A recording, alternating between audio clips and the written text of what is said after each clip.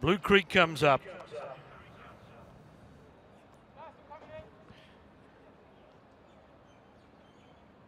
And Lazaz loaded away. Lazaz is in, and they're ready to run. Racing in the Al Bastakiya and Market Rally won the start, went straight to the lead. Ombre Rojo second, Blue Creek third, and Lazam immediately back at the tail of the quartet. Oh, Market Rally throwing his head in the air, over racing. He's very erratic, going past the judge the first time. Market Rally leads into the bend, and Pat Smullen is trying to settle him now. Blue Creek is a length and a quarter away on the outside of Ombre Rojo and a length and a half to Lazam, last of the four as they travel past the 1400 metres mark. The first 400 in 27.5 and into the back, Market Rally showing the way. The break, three quarters of a length. Blue Creek sneaking a little closer.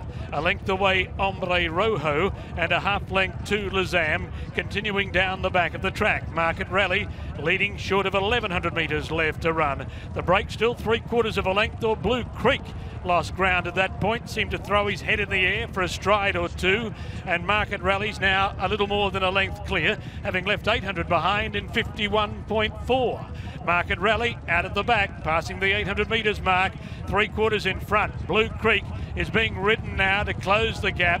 A length and a half to Ombre Rojo, and Lazam's ahead away on the outside. Market Rally passes the 600 metres mark clear. He ran 1200 at 115.9 on the bend. Market Rally's the leader. 500 metres left to go. Blue Creek on the outside is flat to the boards. He seemed to wobble a little coming around the bend, and Market Rally found a bit more. Market Rally in front.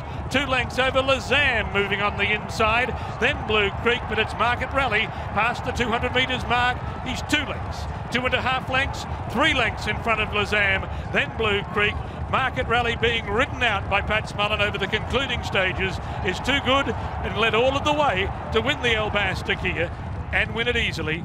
Lazam and Blue Creek in a photo for second and third. Ombre Rojo was last of the four.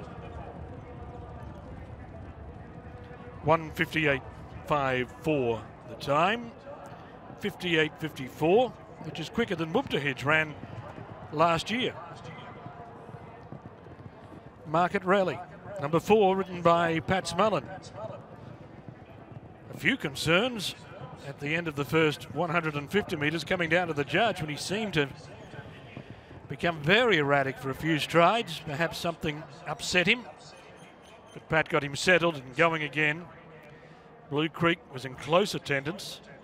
And then he too seemed to race a little roughly at one point down the back straight. And then had to be ridden along to stay in contact, travelling down.